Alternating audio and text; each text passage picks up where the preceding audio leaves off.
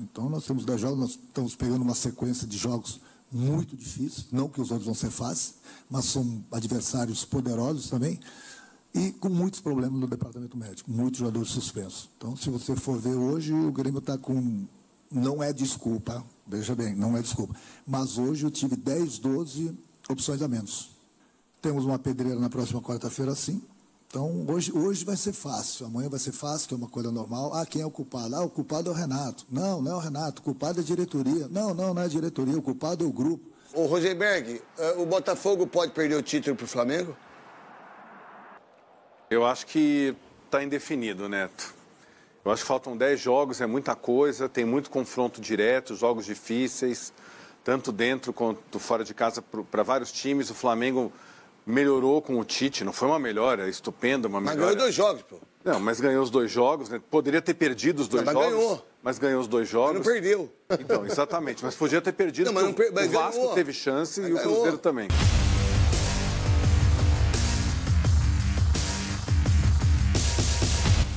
Salve, salve nação! Saudações rubro-negras! Mais um vídeo top aqui pra você curtir.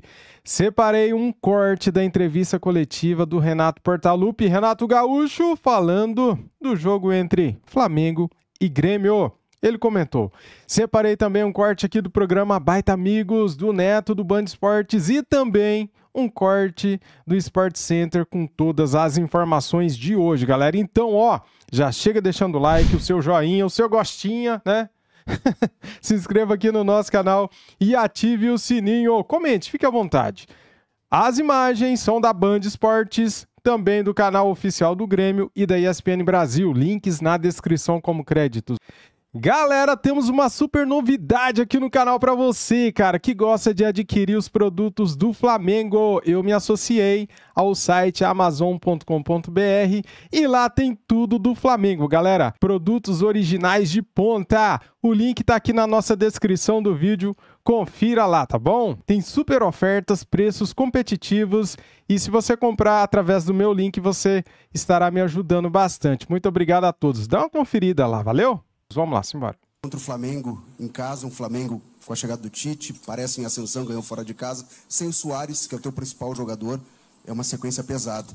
O Grêmio é quarto colocado, a sequência da rodada pode tirar o Grêmio do G4 até do G6. É, e aí eu quero avançar também, pegando uma, uma resposta tua da última entrevista, que ficou para mim ela ficou vaga. Quando tu diz assim, no ano que vem, quem estiver no comando é outra história. Por enquanto, é assim que eu vou levando, são esses jogadores. A tua permanência para o ano que vem, ela está atrelada a uma classificação para Libertadores? Ela não está assegurada para o ano que vem? Não teve um time, não teve um time eh, no Campeonato Brasileiro que não oscilou. É uma coisa normal no futebol, qualquer equipe oscilar. Você falou eu concordo contigo. Eh, no campeonato é o pior momento do, do Grêmio. Eh, a gente tem oscilado no- no- nos últimos jogos. Mas você vê que mesmo oscilando, o Grêmio está sempre na parte de cima da tabela. O Botafogo, eu gosto do exemplo, ele oscilou, mas ele tinha gordura. Se ele não tivesse aquela gordura e do jeito que ele andou oscilando, também ele cairia na tabela. Mas ele tinha gordura. Então o Grêmio não tem aquela gordura que tinha o Botafogo. E mesmo assim, concordo também com você que o Grêmio pode perder algumas posições na tabela, mas faz parte. Faltam 10 jogos.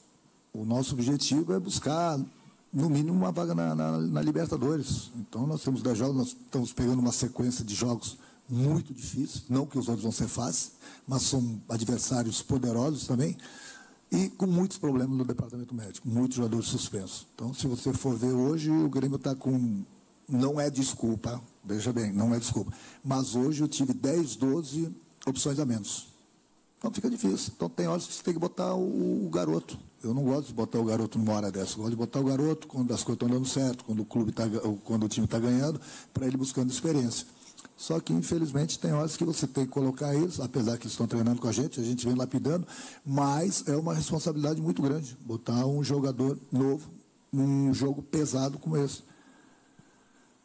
Mas, devido a essas ausências todas, às vezes você tem que colocar. Mas não é desculpa, não. Eu acho que a gente precisa eh, reverter as coisas. Vamos conversar, eh, vamos ver aonde que a gente tem errado. Onde a gente tem errado, eu sei, é procurar corrigir. Temos uma pedreira na próxima quarta-feira, sim. Então, hoje, hoje vai ser fácil, amanhã vai ser fácil, que é uma coisa normal. Ah, quem é o culpado? Ah, o culpado é o Renato. Não, não é o Renato, o culpado é a diretoria. Não, não, não é a diretoria, o culpado é o grupo. Todo mundo tem sua parcela de culpa. Todo mundo. Todo mundo. A gente trabalha para buscar sempre os melhores resultados. Então, pela minha experiência, nessas horas não adianta ficar chutando balde, isso, aquilo. O que eu tenho que conversar, eu converso com o com o meu grupo. E eu vou defender meu grupo até a morte, sempre, sempre. Se tem algum culpado aqui, sou eu, então. Pode apontar. É o Renato o culpado, sem problema algum. Eu vou matar no peito tranquilamente.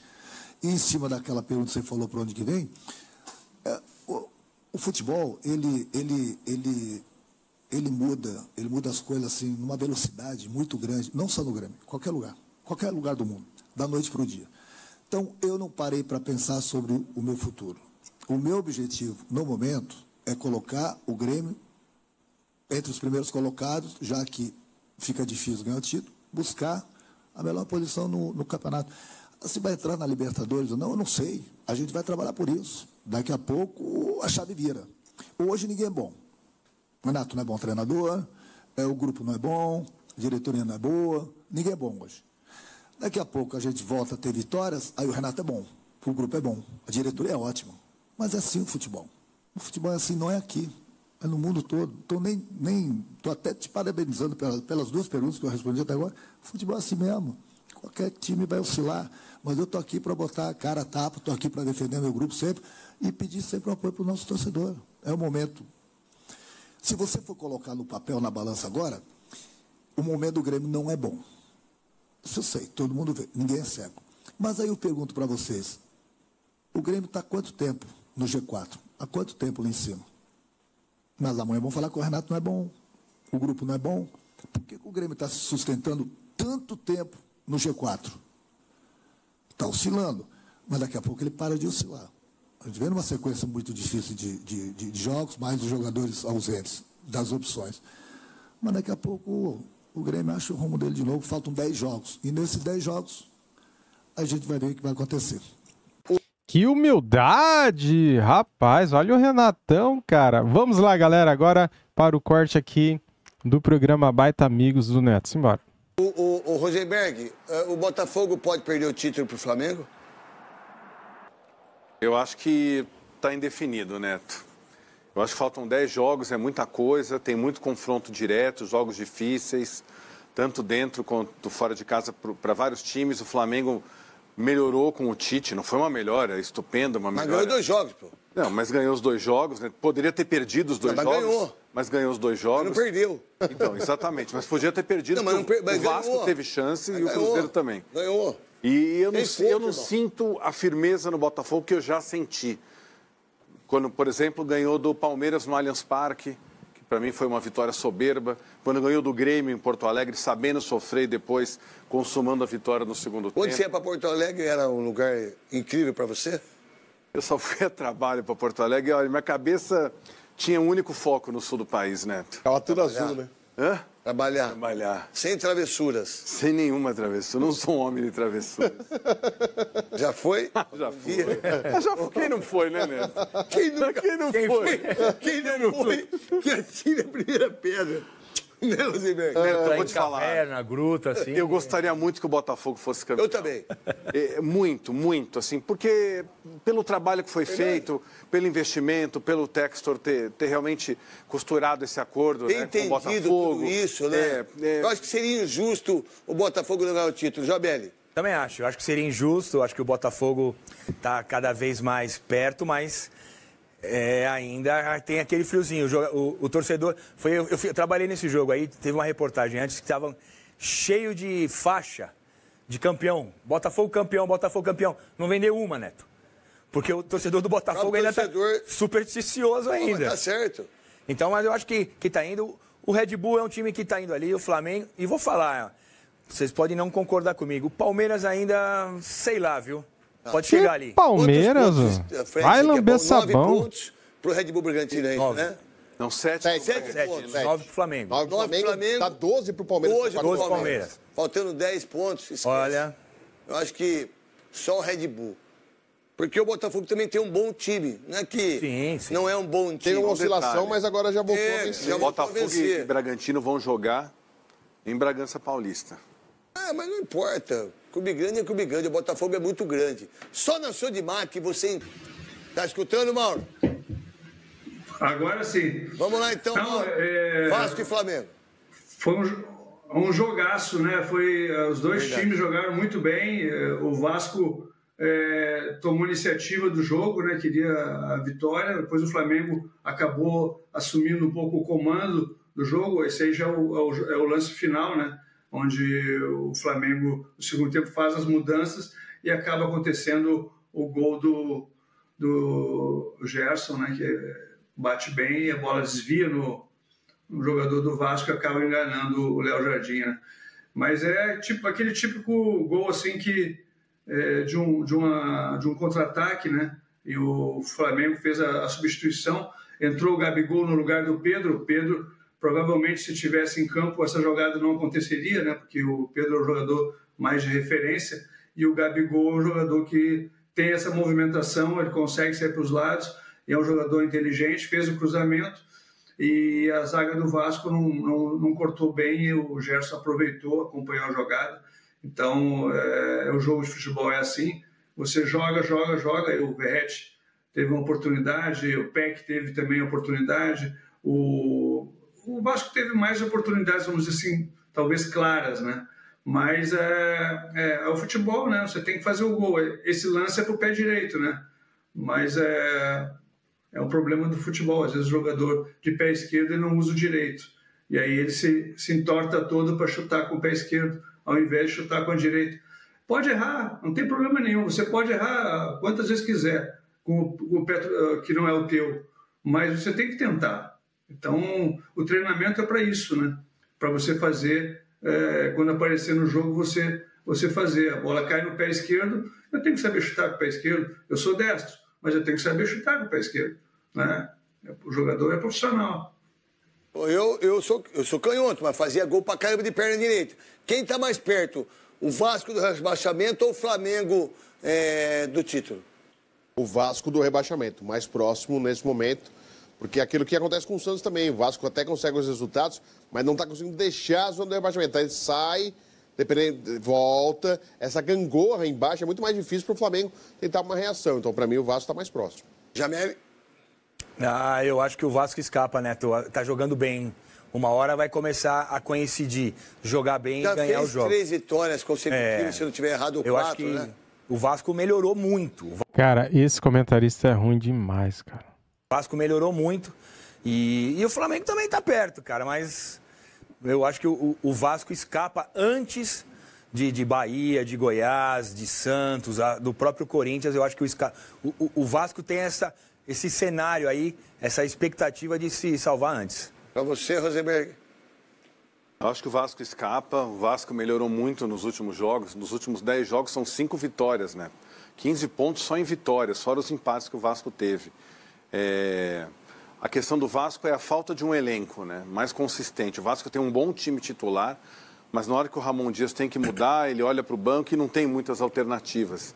E para um campeonato duro, com suspensões, com viagens, com jogadores que se machucam, na minha opinião, isso vai acabar fazendo a diferença. Mas o Vasco está se dando muito bem em São Januário nos últimos jogos, conquistando pontos importantes, embora quase tenha perdido para o São Paulo, né? Se não fosse aquele pênalti Verdade. muito mal batido.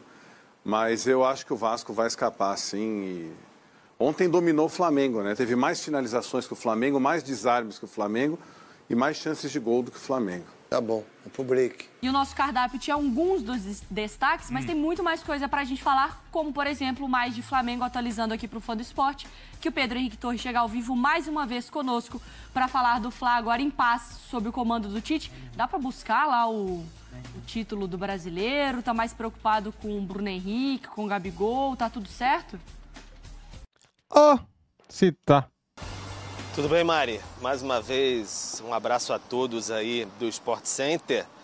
Olha, dá para buscar, alguns dizem que sim. O Tite não gosta de externar muito essa questão de buscar o título brasileiro, fala, fala em, em pés no chão, ficar mesmo é, consolidado no G4, mas os jogadores, até o Thiago Maia na zona mista do Maracanã, depois da vitória sobre o Vasco no último fim de semana, falou que sonha sim com o título brasileiro. São nove pontos é, atrás do Botafogo, tem 30 em disputa, então sonha sim com isso. Mas tem que continuar vencendo para de fato sonhar com esse título brasileiro. Quem sabe o Flamengo em 2009, 2020 na reta final ali atropelou os seus adversários. Para isso tem que vencer o Grêmio amanhã em Porto Alegre. Treino agora pela manhã no Ninho do Urubu para definição mais dos últimos ajustes. Não vai ter o Fabrício Bruno para essa partida, terceiro cartão amarelo. Também o Grêmio do outro lado não vai ter o Soares, né? Também está suspenso, então Kahneman. um elogiou o outro ali depois dos últimos confrontos, vão ser ausências. E aí fica a dúvida: Pablo ou Rodrigo Caio, que foi muito elogiado também por Tite e o seu preparador físico, Fábio Maceredian, depois é, da partida contra o Vasco no último fim de semana. Então fica essa dúvida aí para a defesa, restante do time provável que seja mantido. O Flamengo com duas vitórias sob o comando do Tite, nenhum gol sofrido, três marcados. Então vem numa maior estabilidade, sim, sob o comando do treinador. Em relação a Bruno Henrique, o Flamengo mais nos ajustes finais aí para a permanência do jogador. O staff já indicou que vai aceitar a proposta de três anos. O jogador gostaria mesmo de permanecer é, no Flamengo. Não seria a questão é, financeira que pesaria estritamente para ele, mas a questão do prazo aí de três anos. O Bruno Henrique completa 33 ao fim é, deste ano. Então fica mais nessa questão aí. O Flamengo no aguardo. Como eu disse, treina agora pela manhã e delegação viaja no fim da tarde para Porto Alegre. Mais um confronto pelo Campeonato Brasileiro. Aí, gostaram do vídeo? Comente aqui, quero saber a sua opinião, deixe aqui o seu feedback. Cara, depois da renovação com Bruno Henrique, Flamengo agora encaminha a negociação com o Gabigol até 2028. É isso aí. E o Gerson? Essa temporada é a temporada que o Gerson mais marcou gols jogando aqui no futebol brasileiro. São seis gols neste ano, galera, com a camisa do Mengão extremamente moderno, Gerson quebra recorde e lidera estatísticas do Flamengo. Maravilha! É isso! Então é o seguinte: amanhã às nove e meia a bola rola lá no estádio do Grêmio, a Arena do Grêmio. O Grêmio que vem de quatro jogos sem vitórias, são três derrotas seguidas, perdeu o Grenal, perdeu para o Paranaense e perdeu para o São Paulo no último jogo por 3 a 0. E o Renato Gaúcho, hein, tava mansinho, respondendo tudo de boa na última entrevista coletiva. É assim mesmo, né? Quando perde, o rabinho fica entre as pernas, né? Quando o cara ganha, cresce. Daí começa a dar patadas aqui e ali, né? Acontece muito com os técnicos de todo mundo, né? É assim que funciona, né? E aí, cara, para você, quem é o favorito para o jogo, Grêmio ou Flamengo? Flamengo vem de duas vitórias seguidas. Flamengo vem de duas vitórias seguidas com Tite. Vamos em busca da terceira. Se Deus quiser, né? Tomara que o Grêmio continue aí é, com essa má fase, pelo menos por mais esse jogo. Depois que ele se recupere. Valeu, galera. Tamo juntos. Isso aqui é Flamengo. Saudações rubro-negras. Deixa o sininho ativado para não perder nada. Fui.